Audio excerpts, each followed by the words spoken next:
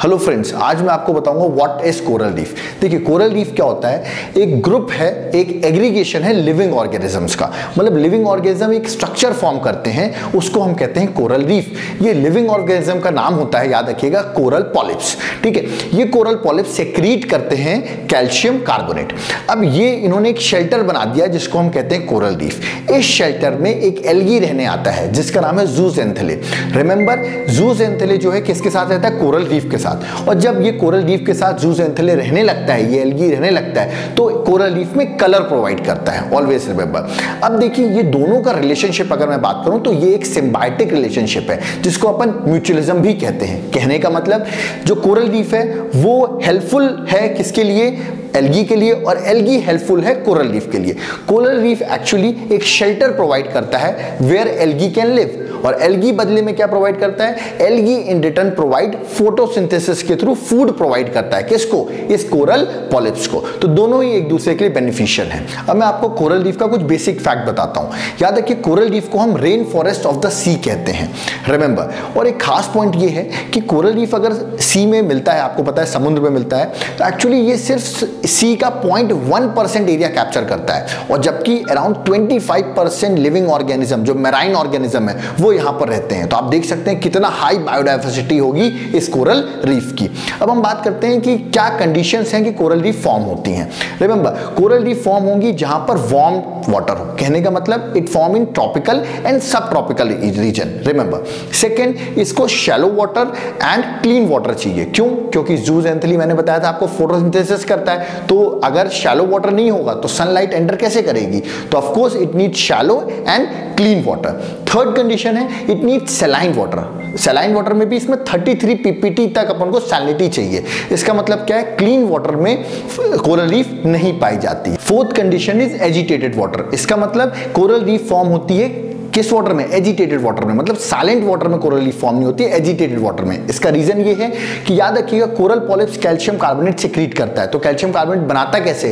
इस agitated water से। Silent water की ज़रूरत नहीं है। और याद रखिएगा, जो मैंने वार्म टेम्परेचर आपको बताया कि वार्म एरिया में फॉर्म होते हैं वार्म वाटर में फॉर्म होता है तो उसमें टेम्परेचर जो है, वो है ट्वेंटी डिग्री सेंटीग्रेड तो चलिए हम आगे डिस्कस करते हैं टाइप्स ऑफ़ कोरल लीफ तो देखिए, चार टाइप्स की कोरल लीफ पाई जाती है। पहली है पैच लीफ कहने का मतलब मान लीजिए शोर लाइन है तो उसके पैच में मतलब आइसोलेटेड फॉर्म में ये पाई जाएगी कोरल रीफ ध्यान रखिएगा, जो अपना शोर लाइन है, उससे दूर पाई जाती है, ठीक है? इसे कहते हैं पैच रीफ सेकेंड होता है अपना फ्रिंजिंग रीफ याद रखिएगा, जो शोर लाइन है, उसी के अटैचमेंट में, ठीक है? ये पाई जाती है, इसको हम कहते हैं फ्रिंजिंग रीफ। जो अगला होता है बैरियर रीफ मतलब जो शोर है, उससे थोड़ा दूर पाई जाएगी मतलब ऑफ़ शोर पाई जाती है, और उसी शोर से पैरेलली ये रन करती है। ध्यान रखिए इसको हम कहते हैं बैरियर रीफ। तो अगर हम देखें उस शोर लाइन और अगर रीफ की बात करते हैं, उसके बीच में जो वाटर पाया जाता है, उसको, उस वाटर को हम कहते हैं लगून। तो यार लगून क्या होता है? कह सकते हैं शोर लाइन और रीफ के बीच में जो वाटर है that is known as lagoon.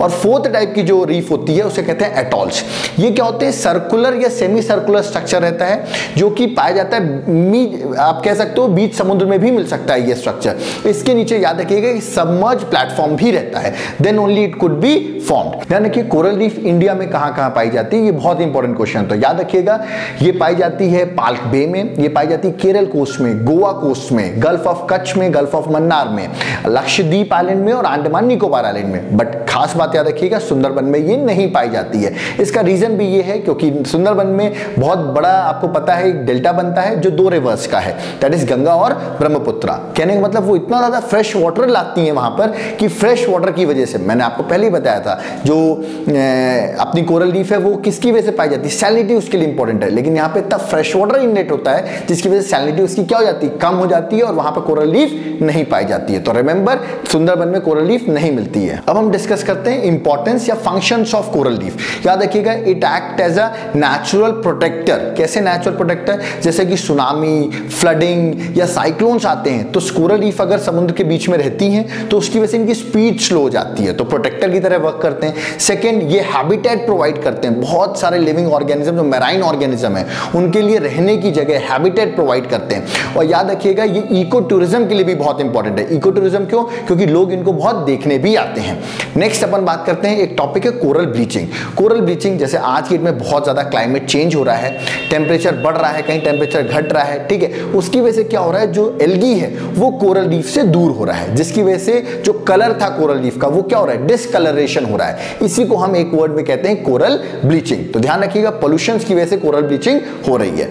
आपसे पूछा जाए क्वेश्चन की सबसे बड़ी कोरल रीफ कौन सी होगी? तो remember it's great barrier reef और ये कहाँ पर है? याद रखिएगा ईस्ट ऑस्ट्रेलिया में। ऑस्ट्रेलिया ईस्टर्न कोस्ट में ही पाई जाती है। तो यहाँ पर हमारा वीडियो खत्म होता है। अगर आपको अच्छा लगा आप इसको लाइक सब्सक्राइब शेयर ज़रूर करें। Thank you